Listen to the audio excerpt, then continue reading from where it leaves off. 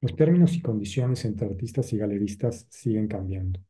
Las comisiones en caso de venta son cada vez más altos y los artistas han de incurrir personalmente en gastos que antes ni siquiera se contemplaban. Esto se justifica ya que de otra manera la galería no podría subsistir, es decir, el artista se ha convertido en una especie de cliente mismo para la galería. La cuestión es que cada vez más el peso recae sobre el artista. Y de no modificarse estas dinámicas, el modelo de la galería, como la conocemos, está en riesgo de desaparecer.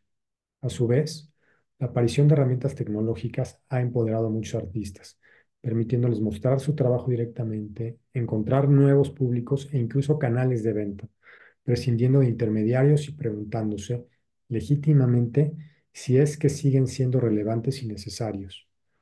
Aún así, ni siquiera en los casos más rotundos de éxito, un artista que ha triunfado en redes sociales tiene la estabilidad y la legitimidad que otorga el respaldo de una buena galería.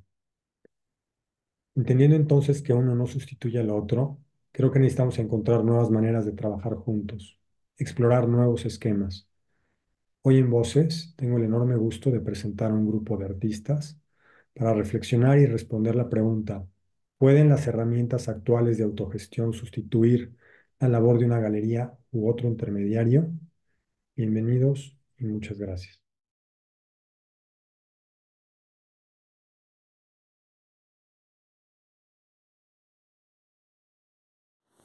Hola, buenas tardes. Mi nombre es Eugenio Chelet. Estoy aquí para responder la pregunta que me hace el maestro Juan Carlos del Valle sobre si con las herramientas de autogestión actuales se puede sustituir la labor de un galerista. Yo pienso que no. Yo pienso que un galerista es mucho más allá de un sitio web o de una ventana.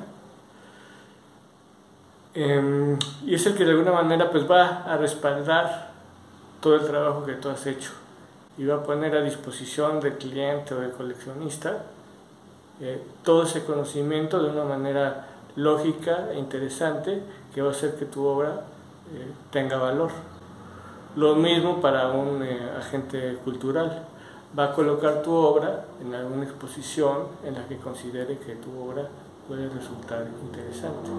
Son tareas yo creo que muy especializadas y aunque tú tengas un sitio web muy padre, lo que sea, no es suficiente para que la gente acceda a él y te compre. ¿no? Bueno, al menos no, no he visto yo en, gente que yo conozca eh, que eso funcione. Más bien todo es a través de las galerías y de los dealers.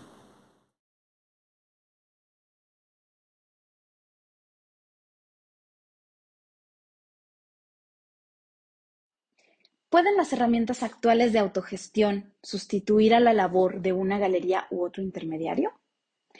Creo que aunque se toquen en muchos puntos, son actividades alternas que a su vez acercan al artista a distintos grupos sociales. Históricamente, la labor realizada por la figura del galerista ha sido de gran relevancia debido al vínculo que genera entre el artista y el espectador comprador, así como entre artistas con inquietudes similares o aquellos que forman parte de la misma generación. A pesar de esta importancia, siento que en la actualidad el mundo de las galerías ha perdido de vista su relevancia histórica, que además de ser un puente entre las partes, requiere un involucramiento con el artista y creer fielmente en su proyecto.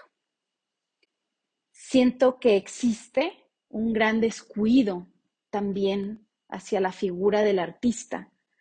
Y si esto lo sumamos a los altos porcentajes de comisión que cobran, es muy posible pensar en por qué las herramientas autogestivas han tenido tanto auge en estos tiempos. La autogestión es un tema que me parece muy interesante porque requiere que el artista mire desde otros sitios su propio trabajo e idee estrategias para darse a conocer de forma asertiva. Sin embargo, el gran inconveniente que yo encuentro en este tipo de actividades es que requieren de tiempo, así como habilidades específicas y muchas veces por realizar estas actividades, el artista no tiene tiempo suficiente para concentrarse, ni encuentra los medios para desarrollar ese que sí es su trabajo. Debido a ello, creo que es importante reformular la relación entre artista y galerista, la cual pues vaya más allá de la comercialización de la obra para involucrarse con los propios procesos creativos del artista. Y en este caso, se dejaría el uso de herramientas autogestivas como una actividad adicional e incluso lúdica en la propia promoción de las obras de arte.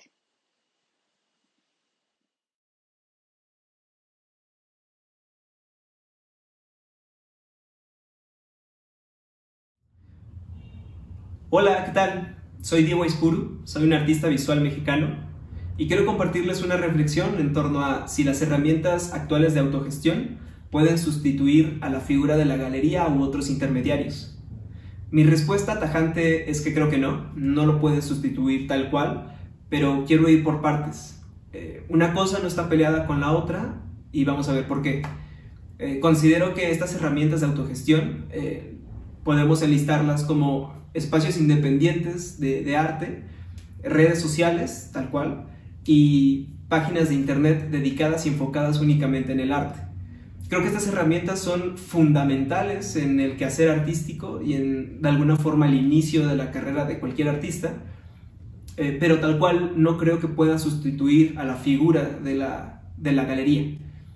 Creo que estas tres herramientas nos permiten de alguna forma relacionarnos con un nuevo público, extender eh, este campo hacia, hacia nuevas direcciones, encontrar tal vez una cartera de clientes, que creo que sería lo más difícil, pero lo que sí nos da y sí nos permite es de alguna forma relacionarnos con distintos agentes culturales y artísticos que si bien en la galería existen y, podemos o pueden ser accesibles, siento que con estas tres herramientas eh, es mucho más eh, amplio y, y grande esta, esta idea de red cultural. Por otra parte, creo que la figura de la galería lo que hace es sí volcar toda su energía y, todo su, conocimiento en poder conectar con, nuevos espacios, con, nuevas, eh, con nuevos clientes y de alguna forma eh, quitarle ese peso y esa, esa necesidad o ese trabajo al artista. Al final creo que el artista se tiene que enfocar en, el arte y no puede estar eh, volcando su, su, energía en otras cosas. Justo por eso no creo que pueda ser reemplazable tal cual eh, esta figura de la galería. Ahora bien, eh, la, galería como tal cual la conocemos ha estado en la historia del arte durante siglos y creo que esa importancia de legitimar el trabajo de un artista que de alguna forma se relacione con en dónde está exhibido, dónde se está eh, vendiendo o donde se está proyectando, creo que es bastante importante en la carrera de, un artista. Entonces, si bien una cosa no está peleada con la otra, es decir, si yo soy un artista que está siendo representado por una galería importante, no significa que pueda no estar presente en redes sociales o no pueda estar presente en nuevos proyectos culturales o relacionándome con nuevos eh, agentes de cultura o, artísticos. En torno a estas herramientas me parecen que son súper importantes en, de alguna forma, el desarrollo de la carrera de un, artista, pero no, no solventan las necesidades de tener una galería o un espacio que legitime tu trabajo tal cual. Eso es lo que creo y bueno, muchas gracias. Nos vemos.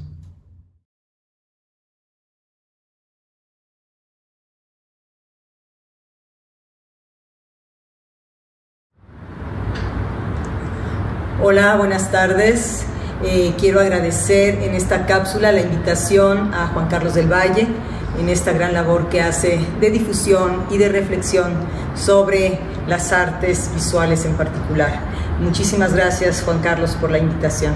Pues bueno, la pregunta que, que me tocó reflexionar sobre las herramientas actuales, si son sustitutos de la galería o de los intermediarios, Podría decir que en el mundo actualmente que es tan cambiante, que día a día hay algo distinto y algo que nos tenemos que adaptar, ¿verdad? Sobre todo esto a partir de la pandemia. Es decir, que en la pandemia tuvimos todos que ponernos a revalorar o meternos, si no nos habíamos metido, en estas redes eh, de tecnología todas estas nuevas plataformas que existen actualmente eh, de divertimento o de, este, o de difusión en este sentido. Desde mi punto de vista, definitivamente no se puede sustituir una cosa con la otra.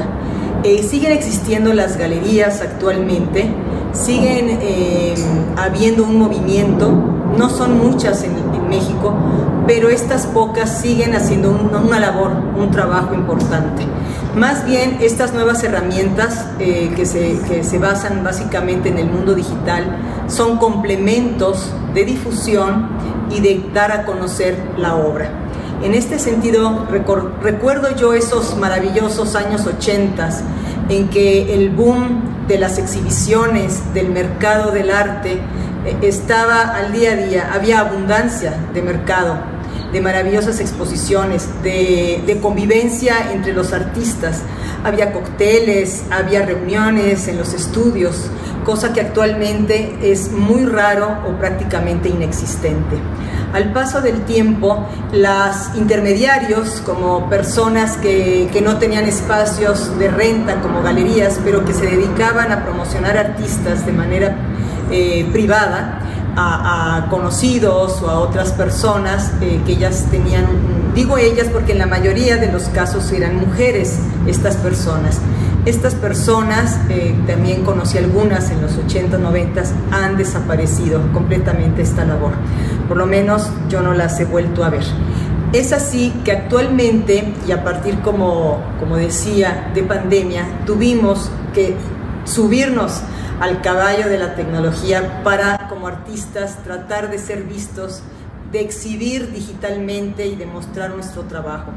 Y de esta manera el Instagram, el Facebook, que ya tenía más tiempo, es más antiguo, pero que hay eh, páginas profesionales en Facebook también, y otras tantas han surgido como una posibilidad de, sobre todo de difusión, y por lo menos conformarnos con un like de alguna obra.